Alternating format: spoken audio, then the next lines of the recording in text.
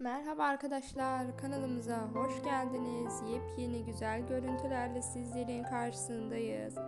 Dizimizin 59. bölümüne özel yepyeni görüntüler gelmeye devam ediyor. Hem yeni bölümden hem de kamera arkasından yeni görüntüler paylaşmaya devam ediyor oyuncularımız.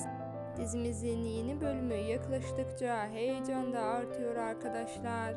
Son yayınlanan fragmandan sonra izleyiciler sabırsızlıkla yeni bölümü bekliyor.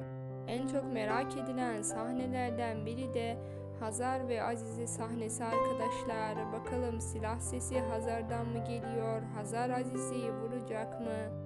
Hazar'ın yufka yürekli iyi bir insan olduğunu hepimiz biliyoruz ve Azize'ni vuracağını düşünmüyoruz arkadaşlar. Bakalım bu sahnede neler yaşanacak. Bizden bu kadar. Hoşçakalın.